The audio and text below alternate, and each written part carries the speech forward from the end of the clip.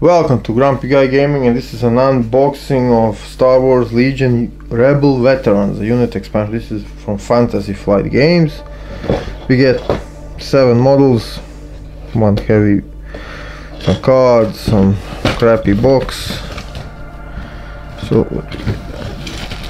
check it out. We get all the models are separate in their bag, which is great. We get some bases. Oh, we get more. We get cards. We throw away the box. We open the assembly guide. We throw away this assembly guide because it's good, but it's a simple assembly. So really, I don't.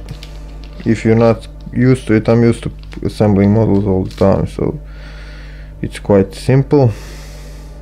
Tokens what we get. We get rebel veterans. Now we get a story behind that.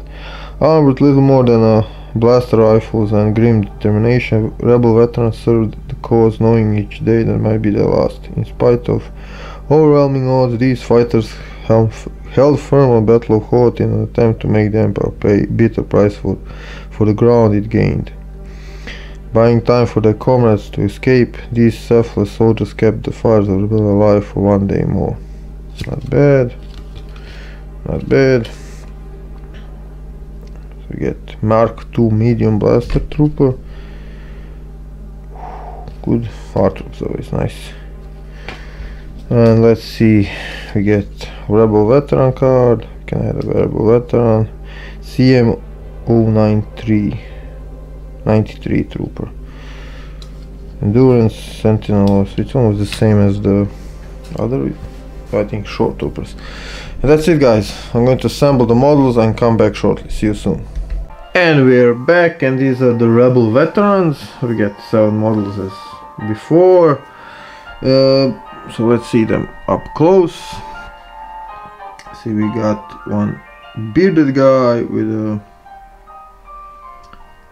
kneeling which looks great. Get the shooting guy. Not bad. We get commander with some radios. Really looking good. Get the gunner I don't know what this is, but it's probably good. Like a female, is it? No, this is not a female warrior. I don't know if we get female warrior fighters here. I think we didn't get anyone. Uh, get normal one, and then we get an alien.